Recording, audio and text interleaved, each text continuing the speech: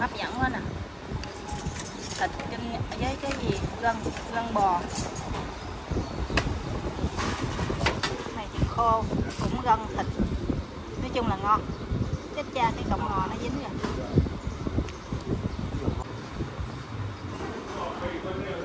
Chấm miếng này. không thích. Ngon quá.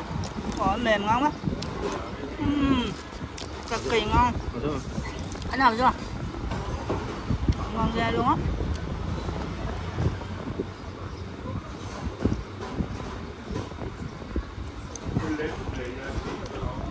Ngon ngon.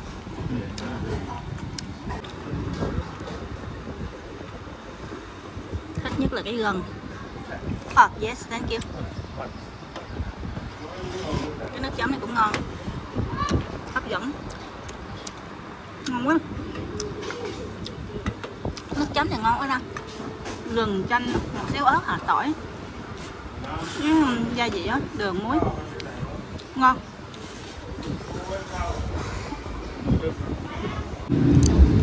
Nãy giờ ăn toàn gân không? Ăn miếng thịt coi chấm này ngon nên thích lắm. Cay cay ngon lắm. Uhm, thịt mềm ngon lắm. Cái cơm trắng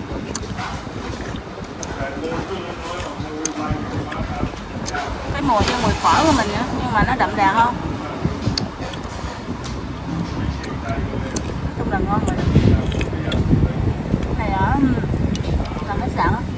Đi bộ lên đây cũng chút à mai chắc lại đi ăn nữa quá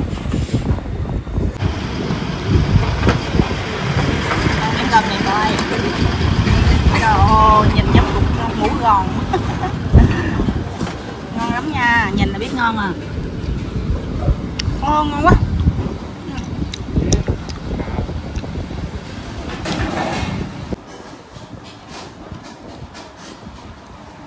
Cái khố này nó nhỏ nhưng mà nó sâu lòng lắm. Nên nó nhiều đầu ra luôn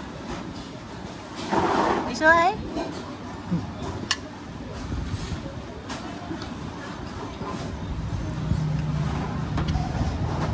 Hổm rồi mới ăn được chỗ này ngon vậy á trời.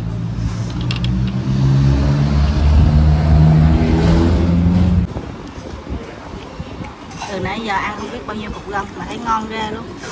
Mà nếu ăn nữa thì kêu thêm, nhưng mà ăn hết nổi rồi. Họ có mấy món thêm. Nói chung là ở đây rẻ, không có mắc đâu. Món có mấy chục ngàn, trăm ngàn đổ lại à. Cái khố này có cơm luôn là 180 bạc, là tầm trăm ngàn mình, cái hơn trăm ngàn mình nói chung là rẻ, không có mắc. Còn cái này có 80 bạc thôi 60 ngàn. Nhiều lắm nhiều lắm luôn á, hồi nãy nó quay sơ sơ ở trên nó tưởng nó là là cái thố nó nó ít có vài viên vài miếng ở trên nhưng mà lúc mà xong xong á, lấy đũa mà mà kêu bằng gì ta? Chèo à, không phải, lấy cái đũa ngoáy lên đó thì thấy nó nhiều lắm. Cái quán này là của người qua Thái, chứ không phải là người Thái hai vợ chồng lớn tuổi mà chấm kẹo. Nói chung là người qua.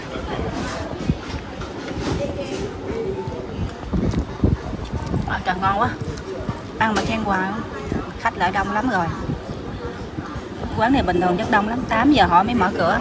Nãy vô ăn tôi là hai người khách đầu tiên luôn á trời. Cay cay chua chua ngon quá. Uhm. ăn mà khen hoài cũng ngại nhưng mà ngon thiệt.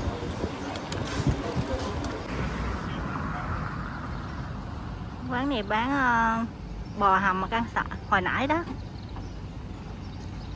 Mà cái tên quán tên gì cũng không biết luôn đó.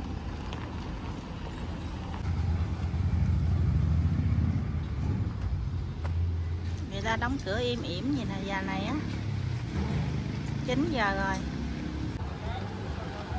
Ở đây 8 giờ người ta bắt đầu vô làm việc.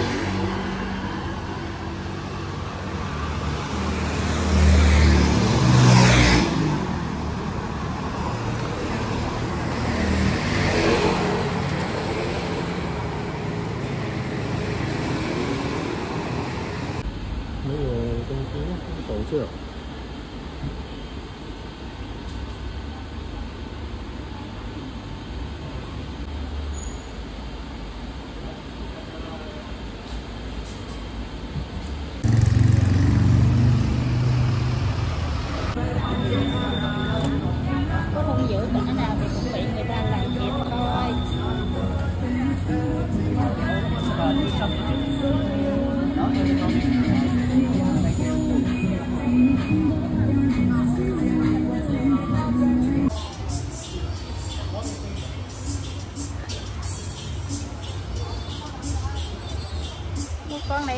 Tổ nè cầm con này đâu ai dám lợi gần mình đâu. Mà quan trọng biết mình cầm thì sao?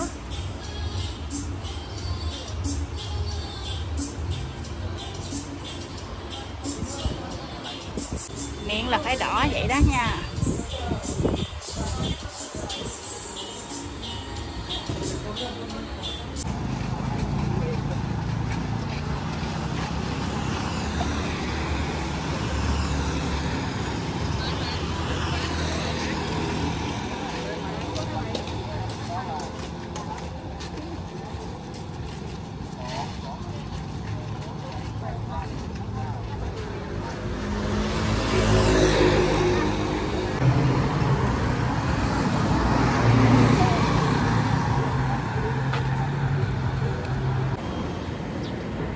Nướng thịt đó họ làm cho khói nó bay thẳng lên không có ảnh hưởng đến người xung quanh. Hay quá ha.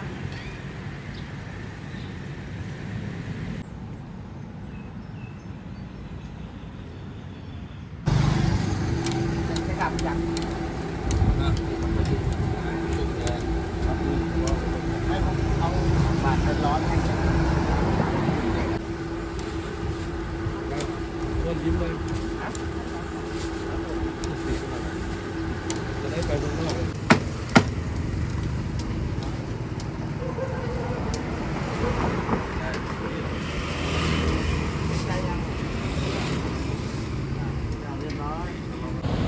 Cái xiên thịt ngon như vậy nè, có 10 bả à nghĩa là có 7 ngàn á. Rẻ ghê luôn á, trời ơi, ngon lắm luôn. Ăn với xôi á.